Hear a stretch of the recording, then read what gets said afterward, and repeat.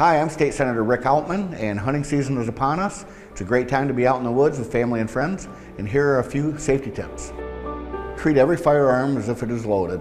Keep your safety on until you're prepared to take your shot. If you're hunting from a tree stand, ensure your tree stand is securely attached. The DNR recommends wearing as much hunter orange as possible to increase your visibility.